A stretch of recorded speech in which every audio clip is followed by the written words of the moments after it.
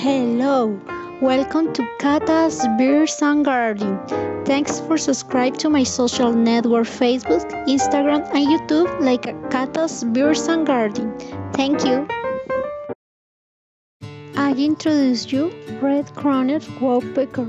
His scientific name is Melanerpes rubricapillus, and his Spanish name is Carpintero habado. About his behavior, he is very analytical. Generally, he is observed alone. It makes its home a tree in three trees, which is a little hole. I observed in Cali, in Departamento del Valle del Cauca, every in Colombia. Every time he came to my balcony to eat, he was shy, very observant. Before any moment, he was frightened. He don't like to share his food even with females of the same species. He is very flexible and tries to get the food in various positions and analyze how to get your food from afar.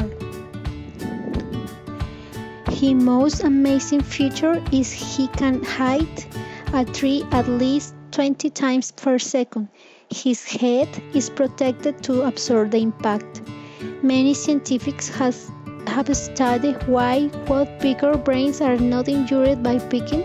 Some think that the, the secret is in the bones that he has in his head, like a sponge that protect the brain, and the space between the skull and the brain that it's, it's very small and allow the brain not shaking.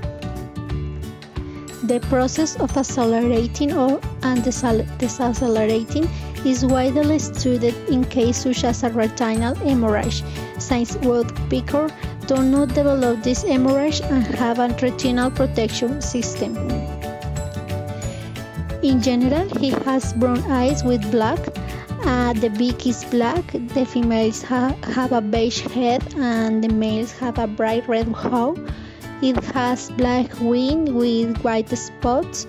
His chest is tan and between the legs there is a red spot. Have a black leg and long nails. It was very strange in the tail because it uses uh, to maintain the posture when he is upright. Regarding his head, he likes to make a repetitive movement from the top the bottom as he's like a like a tick. He feeds uh, fruits, insects. He doesn't like to share the food. When it gets angry, it flees and defends itself. It's also very analytical bird, and when it comes to looking for food, it adapts his body upright very well. You can find it in Panama, north and central of Colombia, and north of Venezuela, Trinidad and Tobago, and Suriname. Some, some bases also located in Costa Rica, uh, and his regarding about his extinction is less. So thanks for watching my video. Don't forget to subscribe to my channel. I take these photos in Cali, Departamento del Valle del Cauca in Colombia, in the South America. He he was in my balcony. I put it food all all the days with um, with a special calendar, so that is not improved. Uh, and the carpenter or woodkeeper in he adapt to the city you can see in the next video that he is in the top of a building looking or searching for for a food you can see his his food catching the wall and this is amazing because he adapts so very well to the city i love to see the the, the birds because i enjoy it to connect to the nature and I can see in them the glory of the Lord. This is the truth and I can't deny.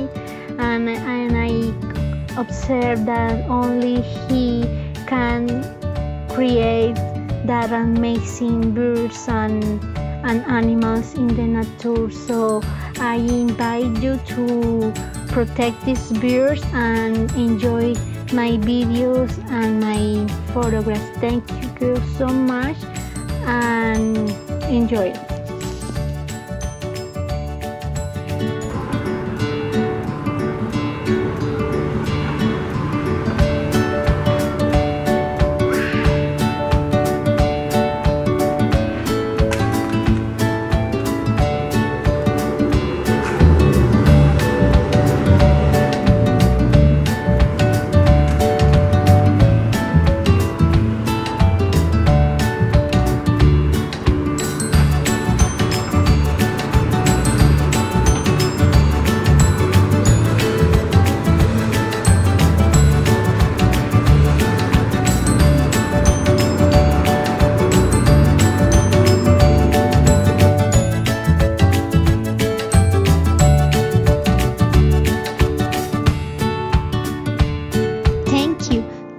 forget to subscribe to my social network.